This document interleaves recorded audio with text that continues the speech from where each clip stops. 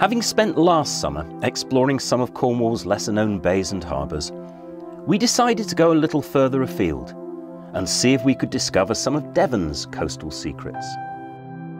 The county has so many huge boating centres along its coastline. Torquay, Brixham, Dartmouth, Salcombe and Plymouth, home to countless thousands of boats, that I thought it would be impossible to find anywhere off the beaten track. Surely every bay, cove and creek would be crowded with boats. How wrong I was. I don't know where the actual boundary lies, but for me, the Eddystone Line always marks the crossing from Cornwall to Devon. Falmouth, our home port's about 30 miles due west of here, and Salcombe Estuary, due east, about the same distance. I tend to pass by Devon a lot and never really explore it, so I'm hoping on this trip to do something different, to actually explore some of the little rivers, estuaries, and perhaps find some interesting quirky places, anchorages and moorings which until now I hadn't known about.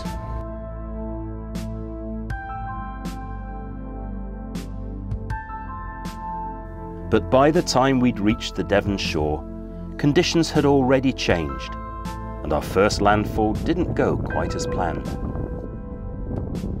This is uh, Hope Cove.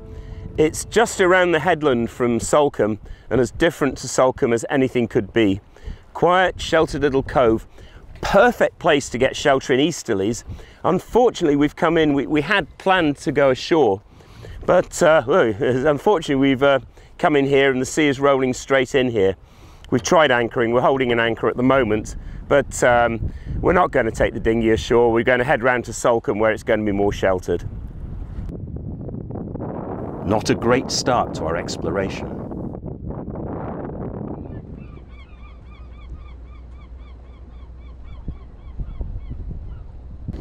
Well, it was too choppy for us really to stay at anchor in Hope Cove, so we just come round the corner, along the headland into the Salcombe estuary.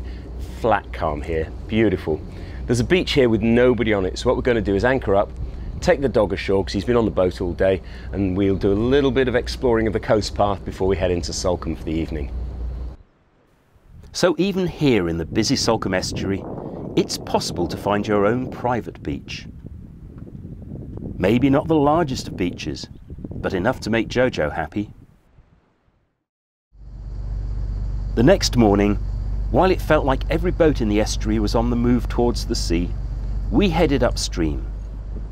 Quickly, the bustle of Dartmouth gave way to a different world. Tiny riverside villages, then just rolling Devonshire countryside.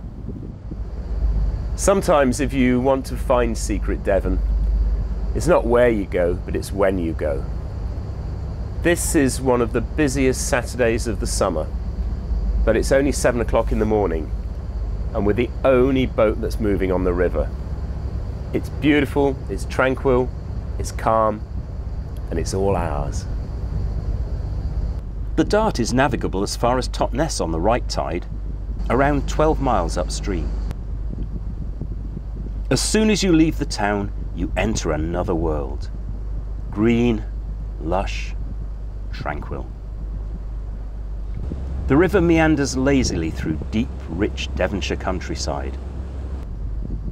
For almost 90 minutes as we headed upriver towards Totnes, we were the only boat, apart from an occasional early morning angler. Now this really is one of Devon's hidden secrets. Well, we got to within about uh, a mile of Totnes, but it's a falling tide. We're already about two and a half hours after high tide, and we're going to run out of water, so we've turned round. But what an amazing start to a Saturday morning. This gorgeous, gorgeous river, and it's all to ourselves.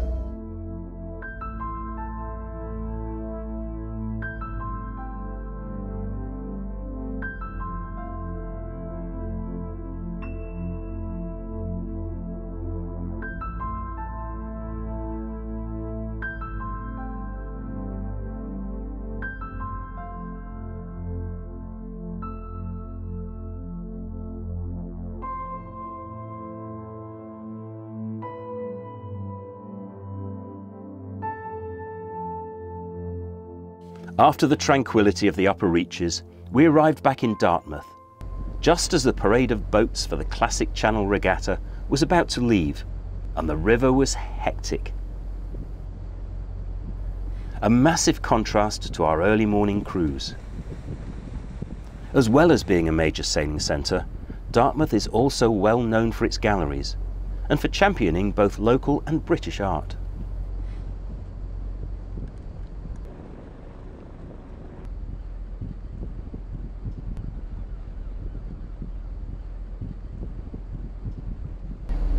Well, we're just leaving Dartmouth now, and I think it's proven to me that even in the busiest of boating centres, if you look hard enough, you can find your own private space. But we'd had a taste of what was on offer, and were keen to keep looking for some of Devon's other secrets.